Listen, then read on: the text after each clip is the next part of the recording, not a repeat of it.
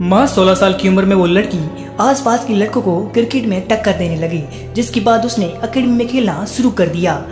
हर किसी को यही लगता था कि एक दिन वो लड़की इंडिया के लिए खेलेगी, लेकिन किस्मत को शायद कुछ और ही मंजूर था, क्योंकि पिताजी की तबीयत अचानक खराब हो गई और उसे वापस अपने घर लौटना पड़ा। अब घर की ज़िम्मेदारी उस पर और उसकी बड़ी बहन पर थी, इसलिए उसने क्रिकेट छोड़ दिया।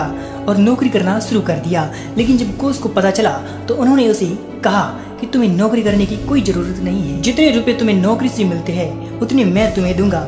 तुम बस खेलोगी और एक दिन इंडिया के लिए खेलोगी।